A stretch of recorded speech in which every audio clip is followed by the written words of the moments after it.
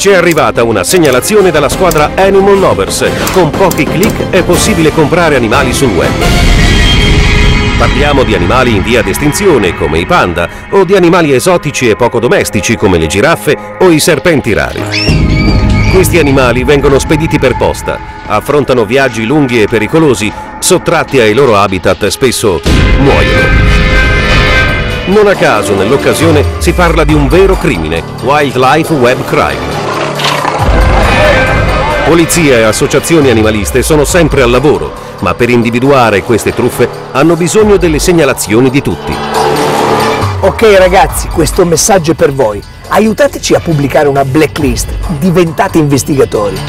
Contribuite a smascherare chi vende illegalmente animali online. Unitevi a noi nella difesa degli animali.